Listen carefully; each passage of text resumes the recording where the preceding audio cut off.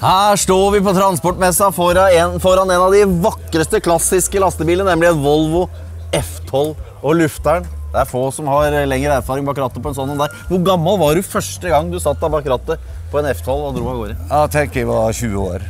20 år, og Hvor Ja. gikk ruta da? Molde-Oslo. Molde-Oslo. Ja. Åssen er følelsen av å kjøre en F12, hvis du skal beskrive det? Når jeg, da var jeg vel 1,90 da òg, høyde. Jeg ble vel 3,90, tenker jeg, Ja. da jeg reiste av gårde. Ja. Jeg var høy på meg sjøl. Ja.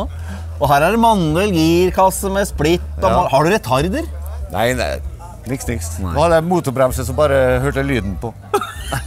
Så da på toppen av et høyt fjell hvor du skal snirkle deg nedover i 30-40 soner Hornholsvinger, hvordan måtte du forberede det med en F12? Ja, da måtte du, måtte du ned med farta i begynnelsen, og så slapp du opp eh, litt etter litt nedover. Av og til ble det litt for mye eh, power i bunnen. Så, eh, så det var litt av faren. da. Har du sovet mye i en F12?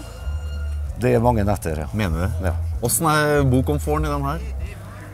Den tida jeg kjørte, så, så var det jo fantastisk.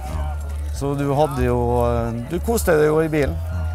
Hadde du da varmesystem som gjorde at du kunne holde jevn temperatur gjennom hele natta da? den gangen? Vi hadde jo ved Basto, Ja. men eh, jeg tror ikke vi brukte det så mye. Mener du det? Ja.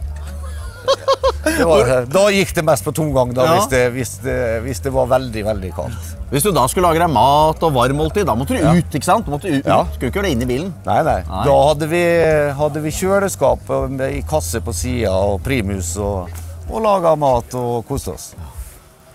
Ekspert på spagetti. Er det gode minner? Ja, ja. Veldig gode minner. Ja. Stolthet. Og da det siste du glemmer, det er hvordan du manøvrerer og kjører en sånn F-12-er, er det ikke det? Ja. Med, med, det med litt av stolthet, ikke sant. Når vi, når vi kjørte, kjørte hollendere, de har bestandig vært helt ville på termobiler fra Norge. Ja.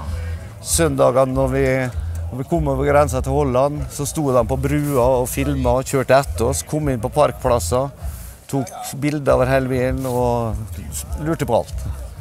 Så det var mye moro. Gammel Sties sjåfør. Og hvis ikke du har fått med deg med lufteren her, gå inn på Liv på veien, så skal dere få se eh, både podkast av lufteren og Guris. Og du skal få se at jeg får være med å teste den bilen som lufteren og Guris restaurerte. En Volvo F12-er tilsvarende denne her, i full Sties mondur.